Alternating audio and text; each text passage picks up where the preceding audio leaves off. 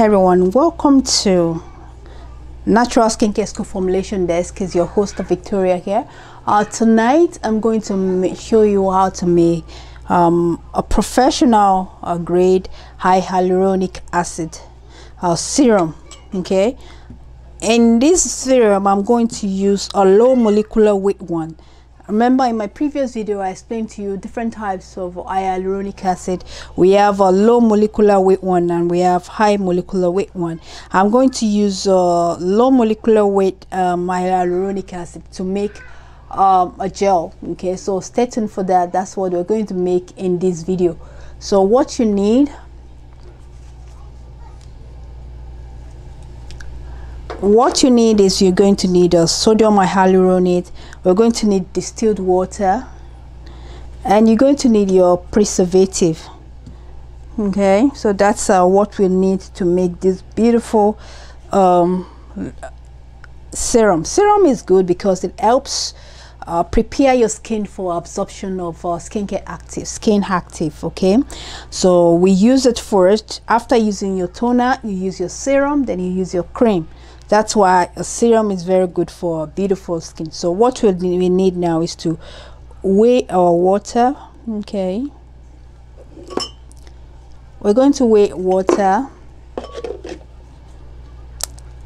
Because low molecular uh, weight or hyaluronic acid doesn't form it doesn't gel okay? Like the cheaper alternative the high molecular weight one. We are going to put in something that's going to make it uh, gel. Okay so we're going to use a thickener. I'm going to use uh, my pre-hydrated HEC hydroethyl cellulose. If you want to learn how to make this look in the description box uh, below. So the first thing you want to do is to measure your water phase okay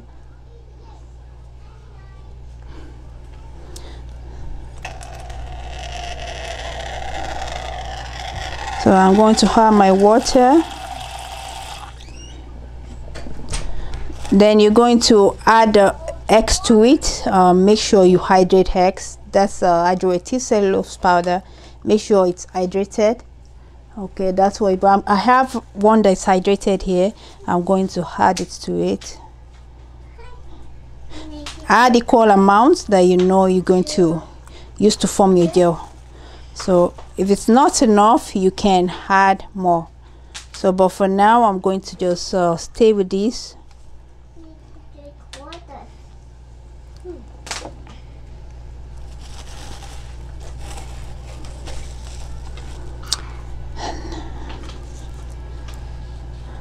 Your water phase and your gel phase must be equal to at least 97.5 percent. So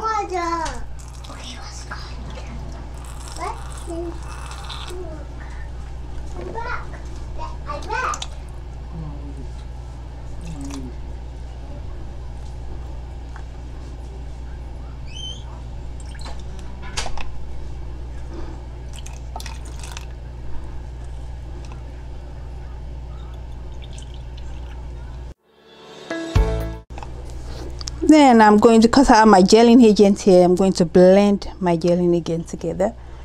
Also look in the description box below to see how I prepare the gelling agent. The, X the gelling agent I use is X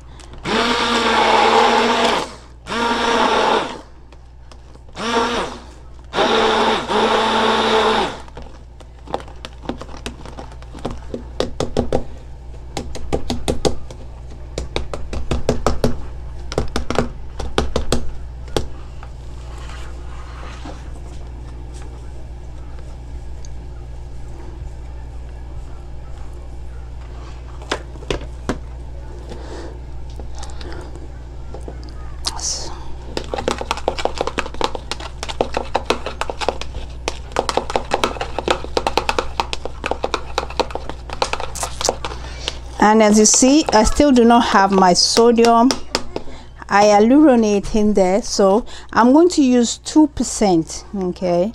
So just going to take my 2% and mix it quickly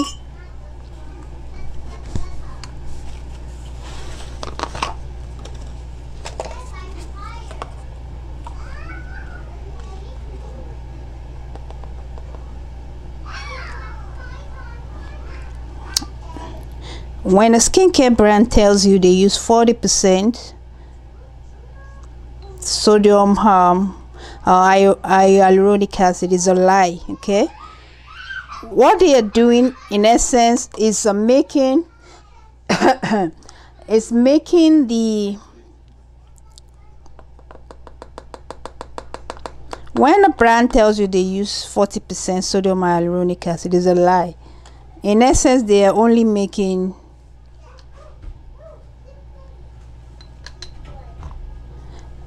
they are only using a solution okay that i'm making. They're only using a percentage of the solution that i'm just making right now. So keep that in mind. When a brand tells you uh, the the hyaluronic acid is 40 percent is a lie there's nothing like that. They're just using 40 percent of this type of solution that i'm making now.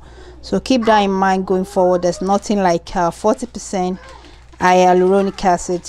No there's nothing like that. Is a lie it's just I think it's more of a marketing uh, tactics the skincare brand use to to get their message across. So don't worry about that. It's, it's just a marketing gimmick.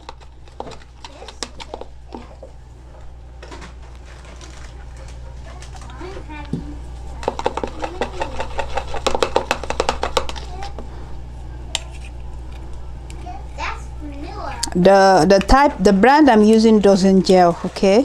So that's why i added HEC.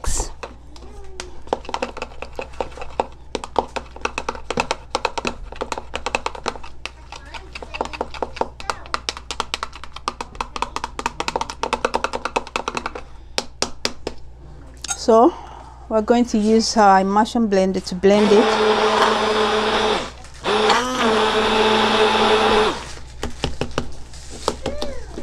immersion blender is very important in making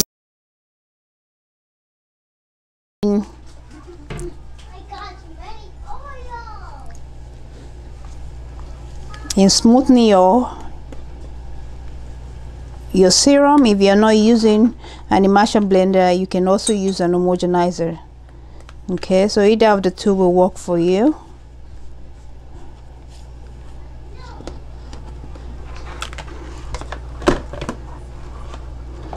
in essence when you are going to get started you're going to use uh, you're going to add your gelling agent to the water. But because I have my gelling agent already that's why I'm doing this. So if you look in the description box below there is a link to the the, the professional formula okay to make a professional formula version okay? That is available on naturalskincareschool.com so once you have that the next thing you want to do is to add your preservative. It's very important that you add your preservative to this because we use water right? So a preservative would do you good. It's going to give you peace of mind okay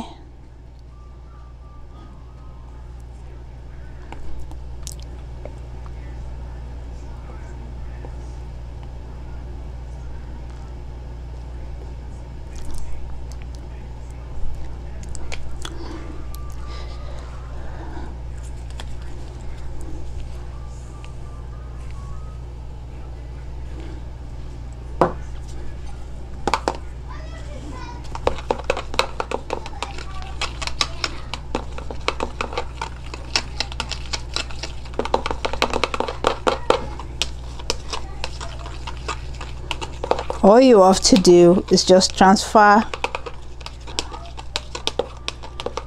transfer your serum into a container and you are good to go. Transfer your serum into a container and you are good to go. Hyaluronic acid serum is very important. So and that's our serum. That's that's your serum. Uh, because I use it I'm going to upload a video shortly. Immersion blender has a way of pumping oxygen into our emulsion. So you have to be careful um, when you are using immersion blender okay? So it's going to pump so much oxygen into your emulsion that you won't like it. So make sure you're care careful when you're using immersion blender. When you are making product to sell immersion blender is not the way to go because it's going to pump so much oxygen like crazy into you. So you have to be careful with this. Like if i bring it closer to you you can see so much oxygen that you see in front of it. So if you are selling product to the public please do not set this much oxygen before you even bottle it at all. Allow it some time let it settle down okay? Uh, if you check the ph the ph should be good uh, between four and five. So that's perfect. So just check the ph make sure the ph is compatible with the uh, preservative you used okay and make sure it's also compatible with that of the skin. So I wish you the best. If you want to learn more about making great and stable skincare products this is a channel for you. So click that subscribe button and the notification icon to be notified when I upload new videos. And head over to naturalskincareschool.com to learn more about making great and stable skincare products. Thank you so much for watching everyone